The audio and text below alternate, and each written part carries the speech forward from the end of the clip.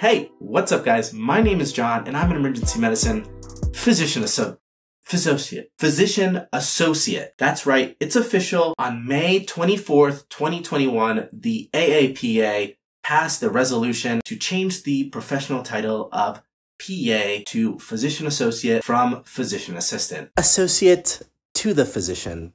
Back in December of 2020, I released a video on the PA name change. This was after the AAPA spent millions of dollars investigating a name change, and here were my thoughts back then. 90% in the camp of we should just keep our name the same, and then 10% in the camp of if we're going to change our name, we should change it to physician associate because in the United Kingdom, they call their PAs physician associates.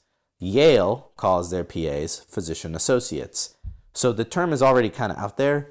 Primarily, it would be because we get to keep our acronym, which is PA. We kind of avoid that huge jump, right? But people don't like that term. Physicians don't like that term. I'm not really a fan of, I'm not like ultimately a huge fan of that term, but if we were to change, and I saw that that was one of the options that they were considering, I would prefer to change to that. And I titled my video with the bye bye PA-C, you know, to really add that shock value. But I guess we are keeping the PA-C abbreviation after all. So what are my thoughts on this? A bunch of people have been messaging me, asking me to make a video on this. I think that the AAPA did the right thing because by changing the name, you are now appeasing the camp of people who definitely wanted a name change. They no longer like the physician assistant title. And then on the other end of the spectrum, physician associate is such a minor change that for all the people who didn't really care for a name change, we're all kind of just like, okay. And once again, out of all of the names that they were proposing, I think physician associate was the lesser of all evils. I mean, we were really on the verge of calling ourselves a joint in the hand. Hopefully with this name change,